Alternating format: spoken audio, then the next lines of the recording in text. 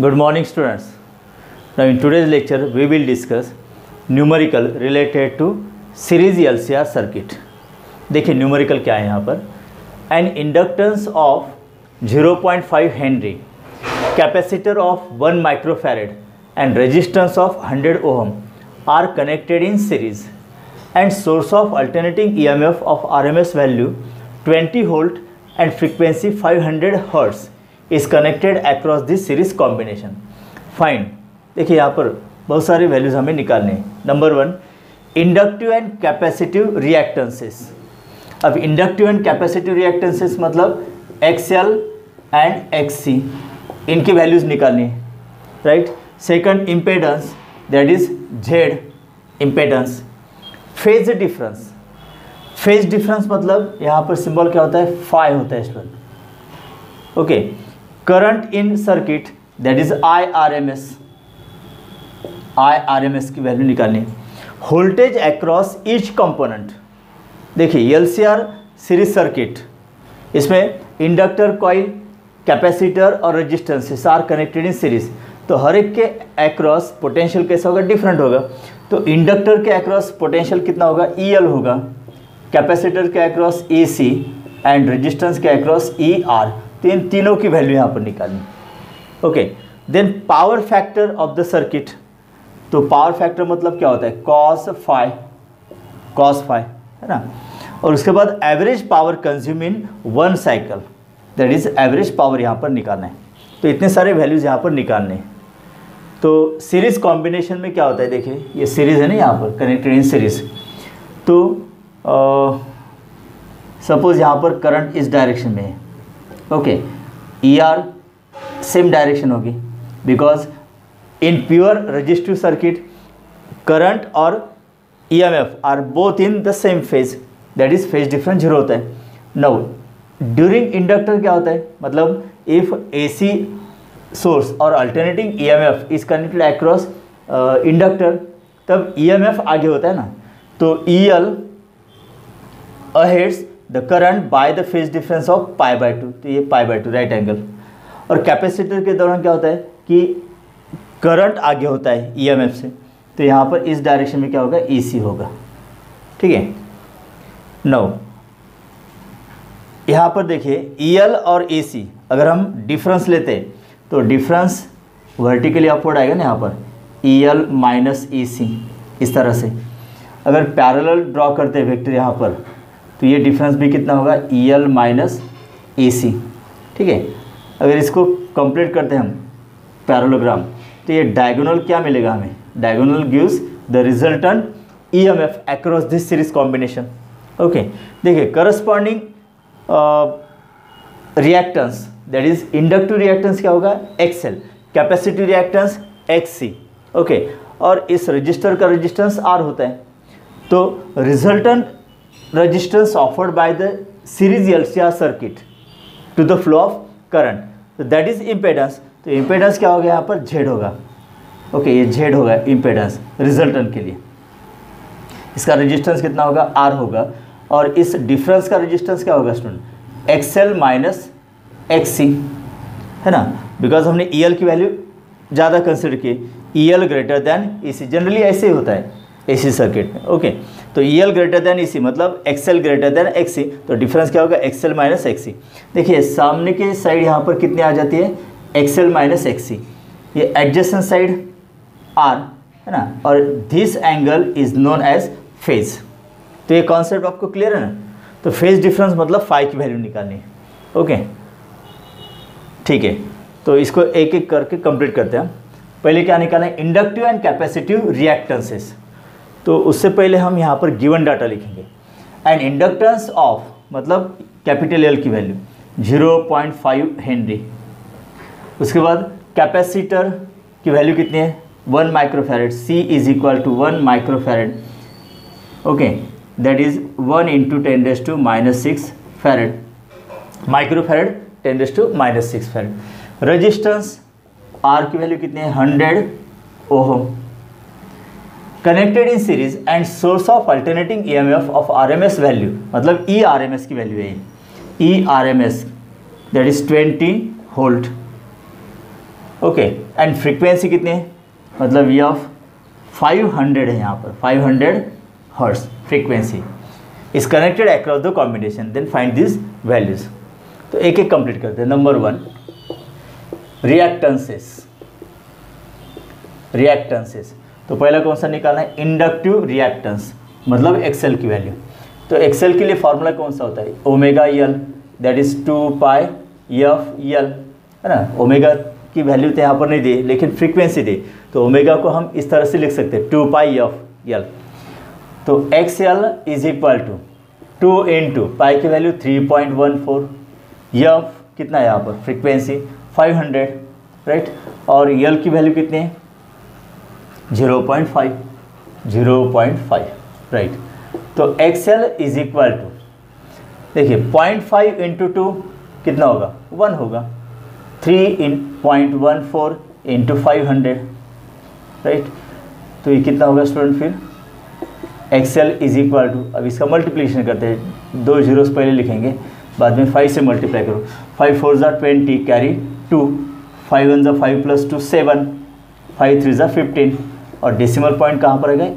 दो डिजिट के बाद लेफ़्ट से तो यहाँ पर। ओके देयर फोर एक्सेल की वैल्यू कितनी आएगी? One five seven zero ohm unit ohm होगा ना?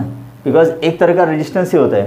That is resistance offered by inductor ये फ़र्स्ट वैल्यू आ गई ओके अब उसके बाद, इसी में अब हमें कैपेसिटी रिएक्टेंस भी निकालना है ना?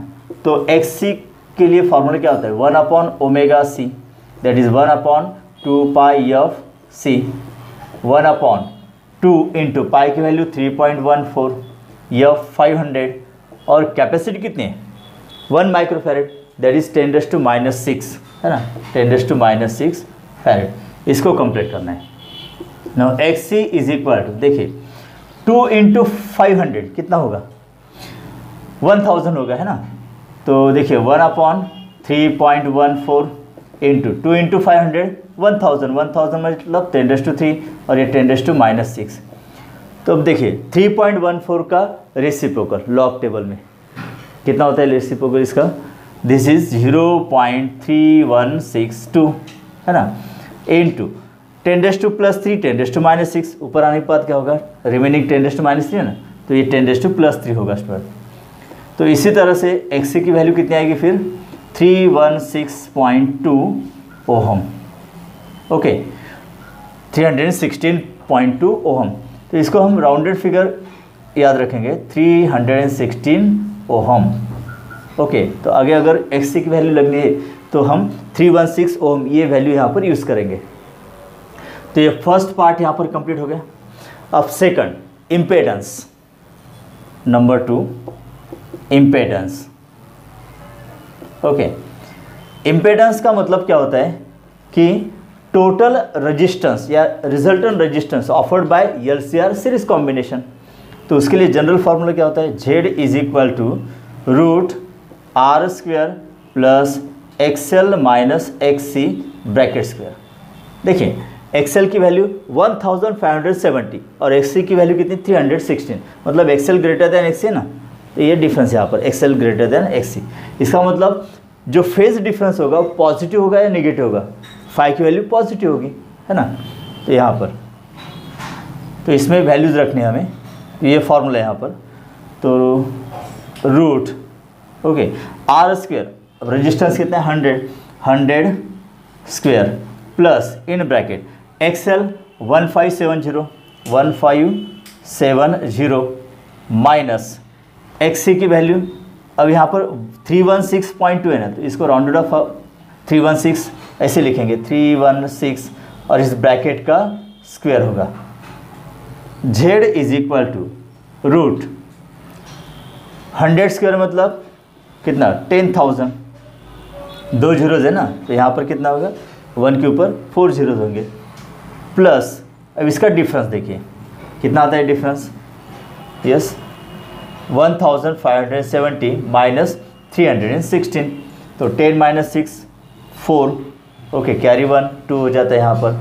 Seven minus two five okay यहाँ पर कितना होगा ये? Five minus three two one two five four और इसका स्क्वायर फिर. नौ टेन थाउज़ेंड प्लस अब इसका स्क्वायर देखिए कितना होता है. तो इसका स्क्वायर कितना आएगा? One five seven two five one six इतना है student now Z is equal to root अब इनकी एडिशन अगर लेते हैं हम, देखिए, फिर zero plus six six okay one five two यहाँ तक तो सेम रहेगा। उसके बाद सेवन प्लस वन एट हो जाएगा ये। Five one one five eight two five one six okay अब इसका स्क्वेयर रूट अगर देखते हैं हम, या लॉक टेबल से सॉल्व करते स्टूडेंट तो ये कितना आएगा यहाँ पर? वन टू फाइव सेवन आता है। Okay. Therefore Z is equal to one two five seven ohm. ये रहेगा यहाँ पर इम्पेडेंस में। ओके। देखिए एक्सएल की value one five seven zero है। एक्सी की वैल्यू थ्री वन सिक्स तो इम्पेडेंस कितना आता है? One two five seven. One thousand two hundred fifty seven ohm आता है। राइट तो ये सेकंड भी यहाँ पर कंप्लीट होता है स्टूडेंट तो resultant resistance offered by L C R series circuit कितना रहेगा? ये इतना 1257 ओहम। अब उसके बाद निकालना है phase difference okay phase difference निकालना है। नंबर थ्री देखिए, बहुत सारे यहाँ पर वैल्यूज़ हमें निकालने हैं। तो शायद एक ही न्यूमेरिकल यहाँ इस लेक्चर में हो जाएगा ये। इतना ही। तो फ़ेज़ डिफरेंस निकालना है। मतलब फाइव अब इस डायग्राम में देखिए। फाइव की वैल्यू निकालनी है। ओके तो अपोजिट साइड मतलब एक्सएल माइनस एक्स इनकी वैल्यूज़ पता है ना हमें? एंड एडजस्टेंट साइड आर उसकी भी वैल्यू हमें पता है हंड्रेड ओहम तो कौन सा फ़ंक्शन लेना होगा? टेन है ना? तो ten five is equal to opposite side XL minus X C divided by R तो इससे पहले टेन फाइव की हम वैल्यू निकाल लेंगे। एक्सएल कितना आया हमारे पास? One five seven zero okay minus X C three one six divided by hundred अब इसका डिफरेंस हमने यहाँ पर लिख, लिखा है, देखिए। One two five four divided by hundred therefore five is equal to देखिए यहाँ पर अगर इसको कंप्लीट करते हैं तो डिवाइड बाय हंड्रेड है ना तो ये ट्वेल्व पॉइंट फाइव फोर आएगा। करेक्ट तो five is equal to ten inverse of twelve point five four ये इतना रहेगा स्टूडेंट ओके अब नेचुरल टेंजेंट में आपको देखना होगा लॉक टेबल तो देखिए नेचुरल टेंजेंट में 12.56 के लिए डिग्री कितना है और मिनट कितना है? देखकर बताइए। या आप नोट डाउन कीजिए फिर।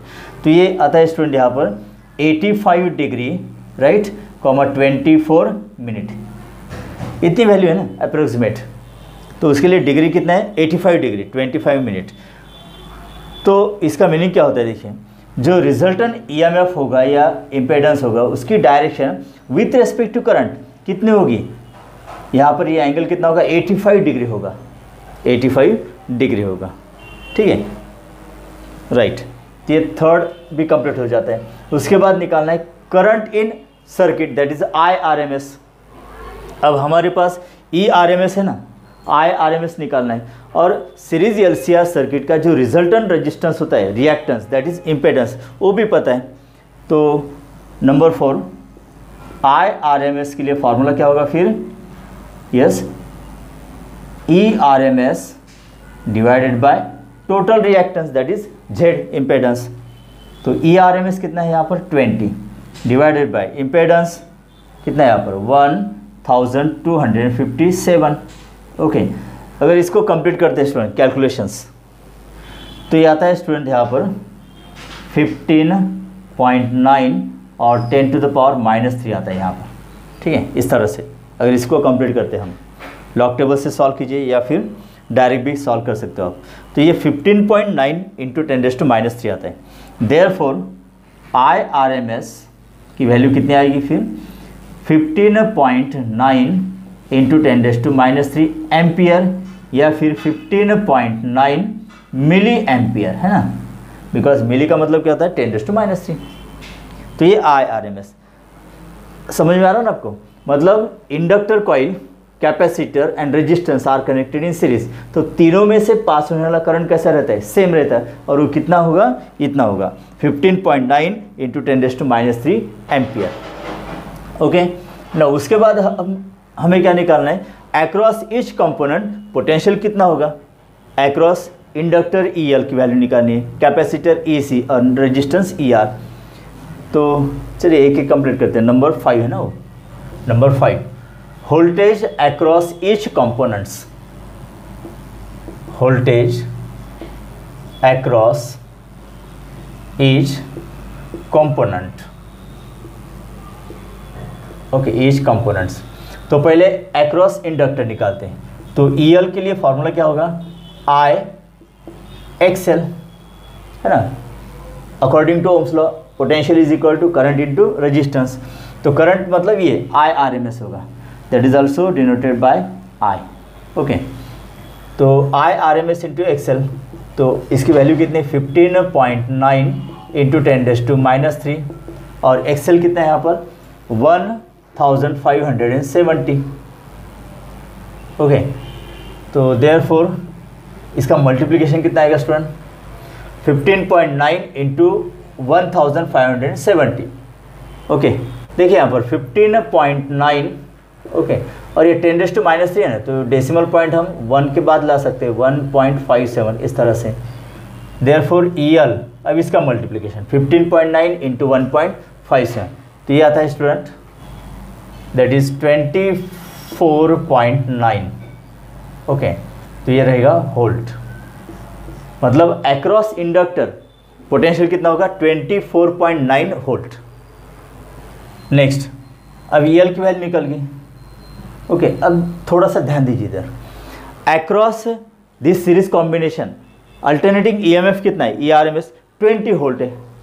तो फिर एक्रॉस इंडक्टर 24.9 वोल्ट कैसे? है ना? इसका रीज़न यहाँ पर आपको मिलेगा। ये ज़्यादा वैल्यू क्यों आएगी? 20 से। इसका भी रीज़न आपको यहाँ पर मिलेगा। जस्ट वेट ओके अब सेकंड कंपोनेंट कौन सा होगा? कैपेसिटर तो ई e की वैल्यू निकालनी है। आई एक्स सी ओके आई कितना है? Fifteen point nine into ten raise to minus three into X C की वैल्यू कितनी है? Three one six three one six that is fifteen point nine into अगर ये ten raise to minus three utilize करते हैं तो यहाँ पर क्या होगा? Zero point three one six होगा स्टूडेंट ओके अगर इसका भी मल्टीप्लिकेशन लेते हैं स्टूडेंट तो ये कितना आएगा फिर? This is four point seven seven something four point seven seven आता है। ओके होल्ट इतना आता है। तो ये पोटेंशियल एक्रॉस कैपेसिटर अब देखिए यहाँ पर। ई e की डायरेक्शन अपवर्ड है ई की डायरेक्शन डाउनवर्ड है। तो यहाँ पर रिजल्टन क्या होगा इनका? डिफरेंस होगा ना।